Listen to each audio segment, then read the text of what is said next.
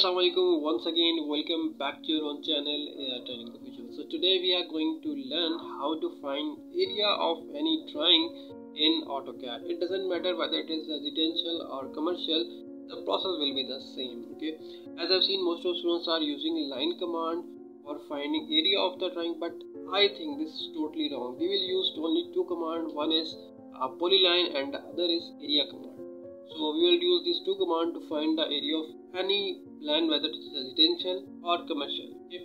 So this video is going to be a very helpful and informative for you what you have to do is simply uh, watch the video and try to follow my step time is money let's get started. So let's start. Uh, as you see uh, i have designed a small plan okay so at first uh, i'm going to use uh, area command and later on we will move to polyline okay? So uh, for finding the area of this plan simply type area in the command panel okay? So i'm just typing area area in the command panel and press enter. Now click on all the edges of your drawing okay? Whether it is residential commercial regular or irregular shape the process will be the same so simply type area command and click on all the corners of your drawing. Select this one this one okay. Drag to the bottom like this okay. Like this and join it with the top one okay. Click one and after clicking then simply type uh, press enter okay?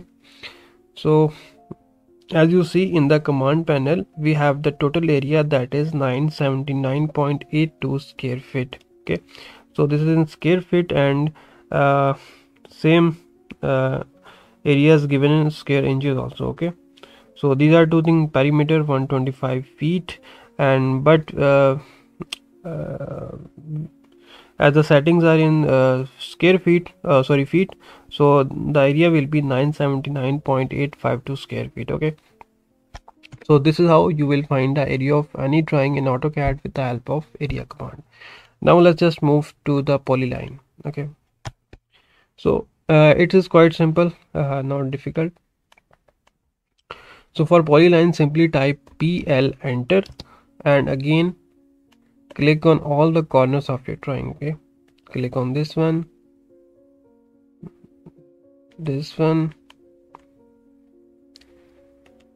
this one this one and join with the top one okay? Click on this one and press escape okay? So uh, as you see uh, this red line shows our polyline now select this red line or the polyline and uh, type control 1 okay?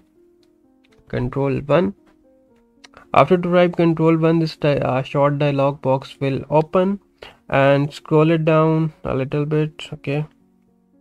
Little bit okay. So in the geometry tab you will see that we have the total area which is 979.852 square feet the same as we did in with the area command okay? So these are the two methods. As you see the length is also given and the area in square feet and square inches is also given. So these are the two method uh, two method uh, from which you can find the area of any regular or irregular shape in AutoCAD.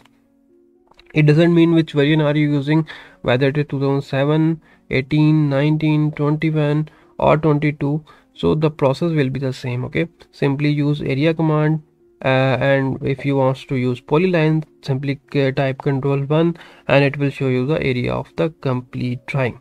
So i hope uh, this video is uh, helpful for you. So that's all for today. Uh, don't forget to subscribe the channel and hit the bell icon for notification. Keep watching keep supporting. Many more interesting content is uploading very soon. So stay tuned. Take care